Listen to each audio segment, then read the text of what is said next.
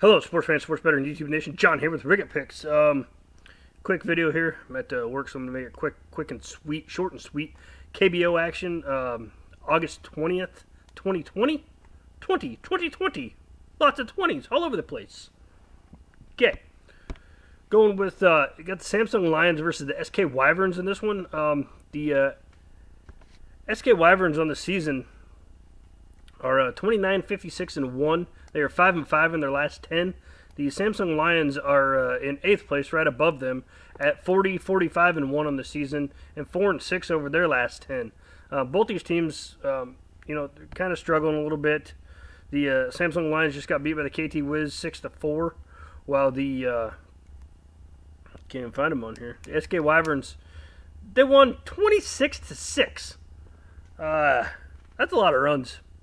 I was just on the Wyverns the other day on the uh, team total over, and uh, that panned out pretty good. But uh, you know, putting up 26 runs, I mean that's that's a lot of touchdowns in baseball. But uh, anyways, the Lions uh, they're going to send David Buchanan to the mound. Buchanan is 3 and 0 with a .41 ERA against the Wyverns this season. Um, overall, he is 10 and 6 with a 3.70 ERA.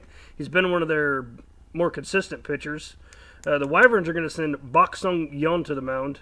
Um, he has not faced the Lions this season. He's 0 3 with an 8.44 ERA um, on the season. Excuse me. Uh, his last two games, he's worked as a starter. Uh, he completed four innings and three innings, giving up four runs in each game.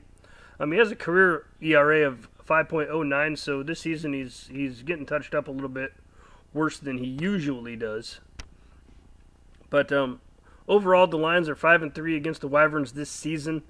Uh, Lions have a 270 batting average, while the Wyverns have a 248. Uh, Wyverns bullpen, they're not that great. They got a 5.44 team ERA. They have hit more home runs than the Lions at 81. The Lions have 77. Lions team uh, ERA is 4.62.